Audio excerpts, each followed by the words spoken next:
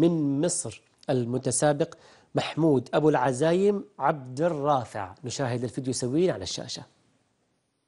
السلام عليكم ورحمة الله وبركاته. الاسم محمود أبو العزايم عبد الرافع. الجنسية مصري الجنسية. أتلو عليكم إن شاء الله من سورة الشعراء. أعوذ بالله من الشيطان الرجيم. بسم الله الرحمن الرحيم. واتل عليهم نبأ إبراهيم. إذ قال لأبيه وقومه ما تعبدون.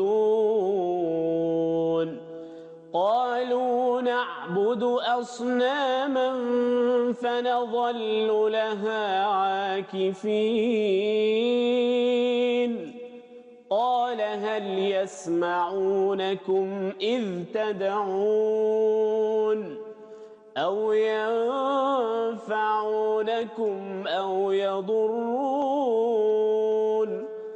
قالوا بل وجدنا آباءنا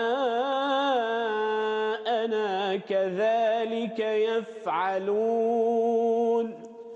قال أفرأيتم ما كنتم تعبدون أنتم وآباؤكم الأقدمون؟ فإنهم عدو لي إلا رب العالمين.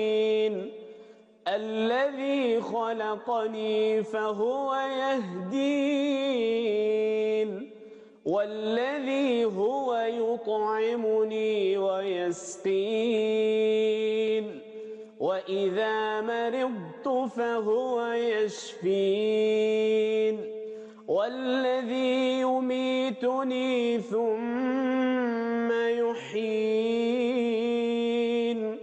والذي أطمع أن يغفر لي خطيئتي يوم الدين. رب هب لي حكما وألحقني بالصالحين.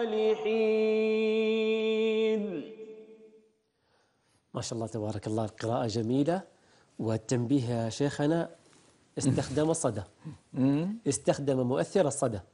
الصدى. نعم استخدم مؤثر الصدى فما تقييمكم شيخنا الكريم؟ يعني هو الخامة الصوتية عنده جميلة بغض النظر عن الصدى. ما كان بحاجة إلى الصدى ونحن نهو نهينا نعم. عن الصدى. يعني أرجو من إخواني ألا يرسلوا التسجيلات فيها صدى. الصدى يعني هذا محسن خارجي. نحن لا نريد المحسنات الخارجية نريد ما أنت ما وهبك الله عز وجل وما نميته أنت الخامة الصوتية الربانية وما نميته بدراستك للأحكام القرآنية. أخونا الحبيب محمود أبو العزايم من مصر تلاوتك جميلة ممتازة متقنة. صوتك ندي صوتك ندي سبحان اللي أعطاك. يعني لكن أرجو أحيانا ليس دائما لا, لا تضغط على أنفك يا أخي.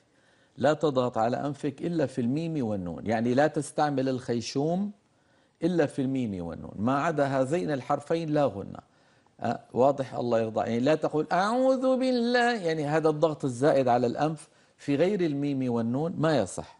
ليس دائما. أحيانا يعني تفعله وأحيانا لا تفعله.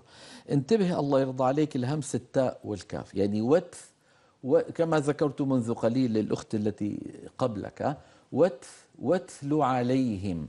ربي هب لي حك حكما لا بد من شدة الكاف والتاء ثم بعد الشدة والهمس بعد الشدة الهمس. لا بد.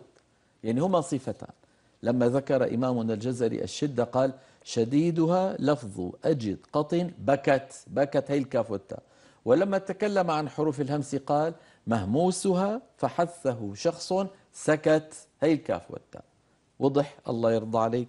آه مرضت طلعت معك جميلة جدا. وإذا مرضت يعني أنا طربت عليها. هي صعبة جدا. آه، لأنه فيها ضاد ساكنة وبعدها تاء. آه، فمن المفخم اللي هو الضاد إلى المرقق اللي هو التاء. كانت جميلة جدا منك يا أخي وأنا طربت عليها الحقيقة. انتبه أحيانا يعني تحسين الصوت. قد يجعل الإنسان يعني يغفل قليلا عن الأحكام. ربي هب لي حكم والذي أطمع أن يغفر أي على طول فتحة الهمزة وبس. لا تقول أن يغفر أي هذه شوف الفتحة زادت ومطت. وهذا عند القراء اسمه إدخال إدخال أو تمطيط. وكم وكم نهى عنه الأئمة. آه هذا لا ينقص أبدا من قدر تلاوتك. الله يرضى عليك. آه وأسأل الله لك مزيد التوفيق. أنا سعيد جدا بسماع هذه التلاوة المتقنة منك. بارك الله فيك.